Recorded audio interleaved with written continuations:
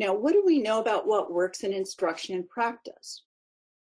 We have a fair number of studies that show the connection between what you're being taught and what you're applying in text with some repetition. So here's an example of a text that exemplifies the curriculum that I've just shown you here. Short A, short I, and we're introducing kids to the most frequent words.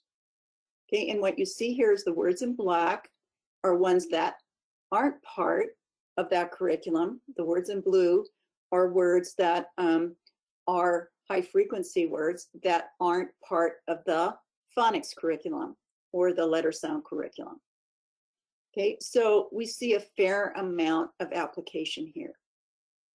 Now, again, and if you have to do something and, and don't hear this whole webinar, we don't know what percentage of the words need to actually fit what you're being taught, but a strong connection is really helpful.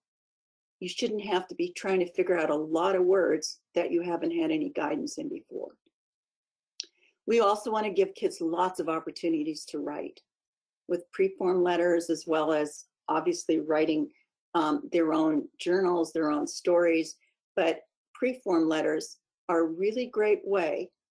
This is probably the best way to test out your hypothesis with regard to letters and sounds. And keep remembering when we do this, it's always a matter of when I've written it, I read it. And I can lengthen the sounds, okay? But I can begin seeing as I test my hypothesis how these letters affect the words that are made. Here's another example, you know, where we have whiteboards or chalkboards. We want to do a lot of writing and the interventions that we've done that have been highly successful. The writing is critical as well as a match to the books that kids are reading. A third thing is we want to have conversations with kids. We call these metalinguistics conversations, conversations about how language works. These are different, I'm going to suggest, than instruction. These can just pop up when things happen. Or when you're instructing something, for example, when I'm teaching kids about the word the, I don't have to pound it in, but you know, they're learning the word the, but I can say that the E has an unusual sound in the. It's different than the sound in some of our names like Emma and Eli.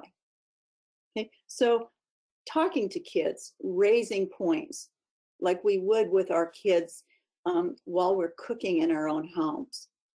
Okay, um, we want to uncover for kids. We want to have conversations. We want to give them insight. We this is another way to help them with components of long words it's lunchtime and we're going to go to the lunch room. Let's look at these words and we're going to clap as we say the words.